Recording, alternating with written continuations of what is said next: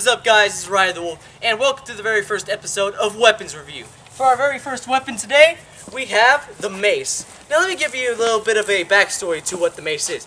Back during medieval days, knights would use these beautiful blunt weapons in order to pierce through enemy armor. Now we're going to see how well this works against the milk jug. Alright. Actually, I'm going to get on this side so you guys can see. Alright, three, two, one. Can we get that in slow-mo, please? Yeah.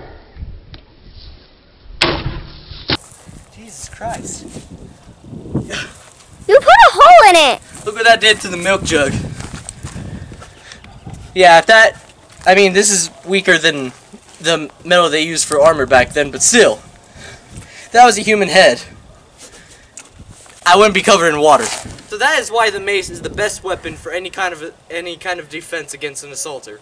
They already know what this weapon could do, and I could just look at this and see that it can put a bunch of holes in someone, make someone human Swiss cheese, pretty much.